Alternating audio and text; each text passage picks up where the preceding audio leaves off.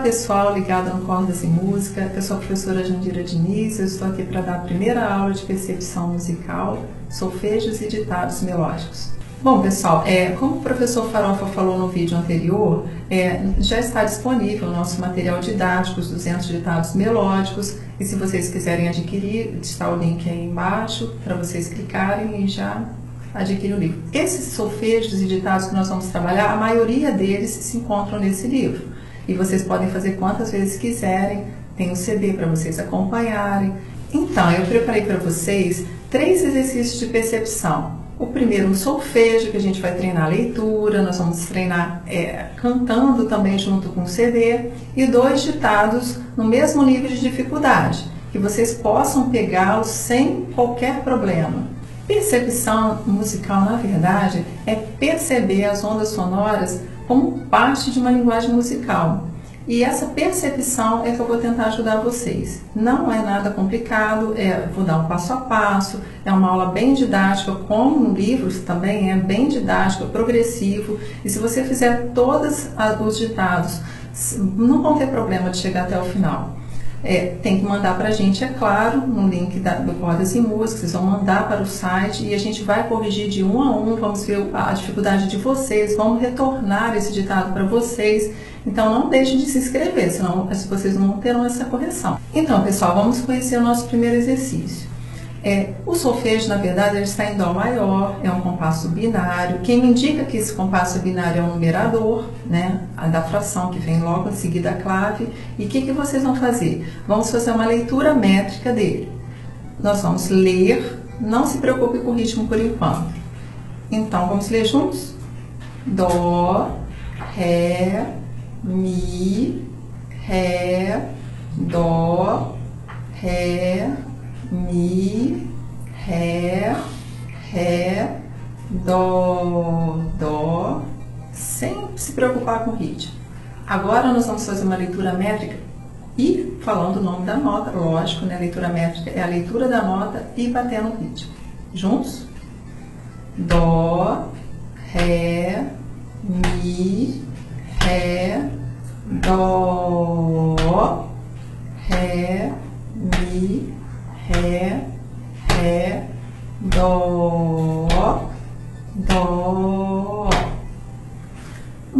agora nós vamos ouvir com CD as batidas e o som dessas notas. É muito importante que a gente, antes de fazer os ditados, conhecermos esses sons. Porque senão na hora que você ouvir e você tiver que escrever o ditado, vocês não vão conseguir, ou terão muitas dificuldades. Por isso, o solfejo antes dos ditados. Essa, esse tipo de aula é para você que já tem uma noçãozinha pequena, mas mesmo quem não tenha, a gente partindo do Dó, do Ré e do Mi, que são três notinhas básicas, vocês vão conseguir acompanhar. Faça só um esforcinho, acreditem que vão conseguir. Eu vou mostrar aqui para vocês esses três sons antes de colocar no CD. Bastante calma. Dó,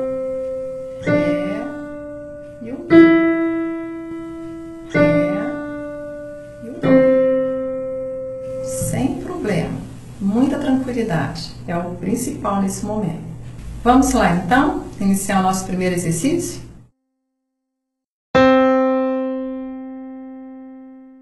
Um, dois, um, dois.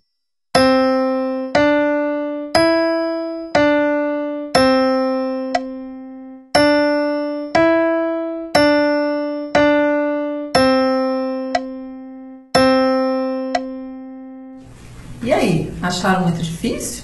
Ficaram assustados? Percepção sempre assusta, né? Vamos ouvir mais uma vezinho? Agora, bastante calma, pessoal, vocês vão conseguir.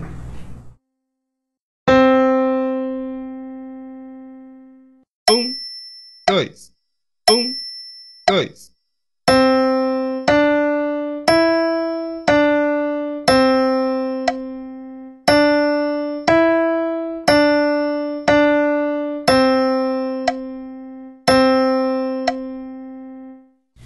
Pessoal, não é difícil. É, na verdade, a percepção é importante para todos os instrumentistas. Ela eleva o nível e, na verdade, a compreensão da linguagem musical. Não precisa se preocupar se for desafinado, Também sou, eu sou professora de piano, mas eu vou cantar com vocês esse primeiro para vocês verem que não é uma coisa absurda e não é difícil. Vamos acompanhar no quadro virtual esse solfejo e vamos cantar juntos.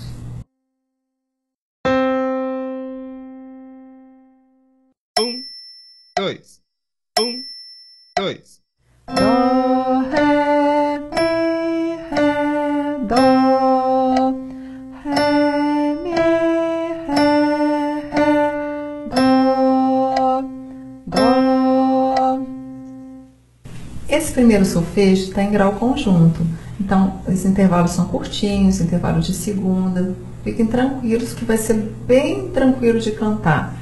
Não tem saltos grandes, com o tempo, isso vai ser, como vai ser uma, uma aula progressiva, daqui a algumas aulas já vamos trabalhar com intervalos maiores e vai ser bem, bem tranquilo de vocês fazerem. Bom, feito o solfejo, vamos para os ditados? Agora é a participação de vocês. Peguem o seu caderno de música e vamos partir para o primeiro ditado musical. É importante também lembrar que fazer um ditado é bom usarmos lápis. Então pegue um lápis, uma borracha, um caderno de música apague quantas vezes for necessário. Cada aluno é, consegue captar essas, essas, ondas sonoras, vamos dizer assim, esses, esses, essas notas musicais de uma maneira diferente. Alguns decoram toda a melodia e depois escrevem no caderno, outros pegam nota por nota. Você precisa encontrar a sua maneira, o que fique mais fácil para você pegar esse ditado. O importante também é que vocês, o ambiente seja apropriado para vocês pegarem esse ditado. Sim, desliga a televisão, desliga o aparelho celular, desliga em rádio, procure um ambiente assim silencioso que vocês possam se concentrar e, e realmente pegar as batidas do ritmo, as notas com tranquilidade.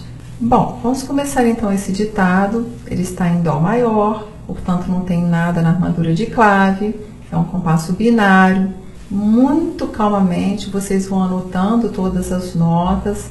Se você tiver facilidade é, em decorar toda a melodia e depois anotá-las, assim, a, a, gente vai ter que buscar essa maneira de cada um.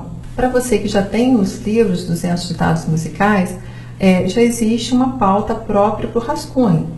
Nesse rascunho, vocês vão apagar quantas vezes quiserem. Na hora que vocês virem que realmente ele está pronto, passa para a pauta de baixo que é a pauta definitiva.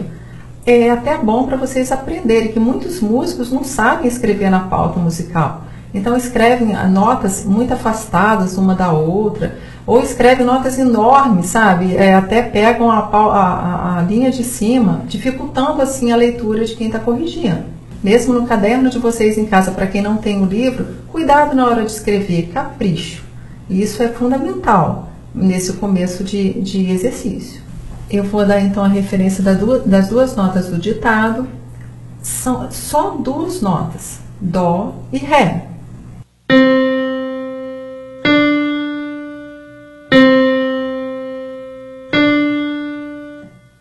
Então vamos lá, pessoal. É muito tranquilo. Tonalidade de Dó maior.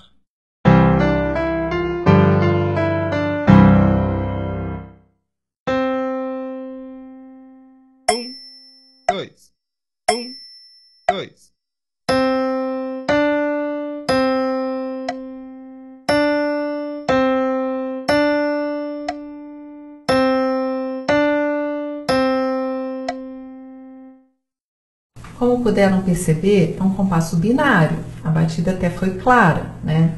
Então vamos de novo ouvi-lo. São só duas notas. Ou é o Dó ou é o Ré tonalidade de Dó maior.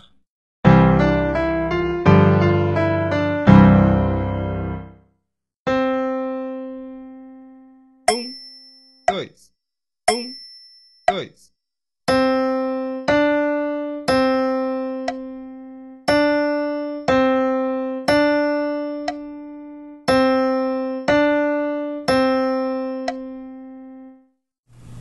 Como puderam perceber também, existem notas de um tempo e de dois tempos.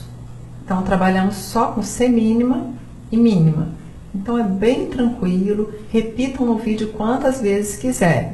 Não se esqueçam, pessoal, depois que terminar o exercício, tire uma foto ou escaneie, mande para esse endereço que está aí abaixo do vídeo, para gente que a gente possa corrigi-lo, para você ter esse retorno, se você acertou, se você conseguiu pegar, se você conseguiu fazer esse exercício com a gente. Mas lembre-se, somente você que é assinante do nosso projeto que conseguirá ter essa correção desse exercício. Tudo bem até aí, pessoal? Vamos então para o nosso terceiro exercício dessa nossa videoaula. Então, esse ditado também está no compasso binário, também está na tonalidade de Dó maior e também vamos trabalhar só três notas como no solfejo. Dó, o Ré e o Mi. Eu vou dar referência deles para vocês guardarem. Dó, Ré e o Mi.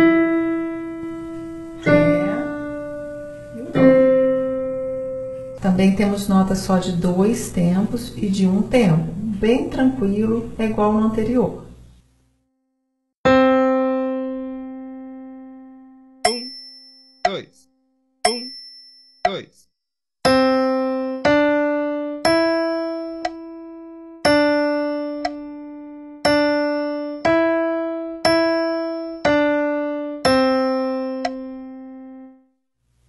Tudo bem? Tranquilo, né? Então, vamos repetir novamente? Vamos lá. Um, dois, um, dois.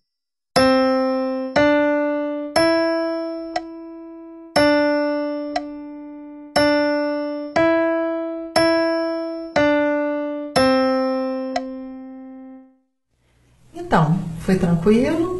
Então, chegamos ao fim da nossa primeira aula de percepção musical, o nosso solfejo, com nossos ditados. Não se esqueça de nos enviar para que possamos corrigir os ditados de vocês. É muito importante esse retorno. Muito obrigada e nos reencontraremos na nossa próxima videoaula com mais um solfejo e dois ditados. Espero vocês lá!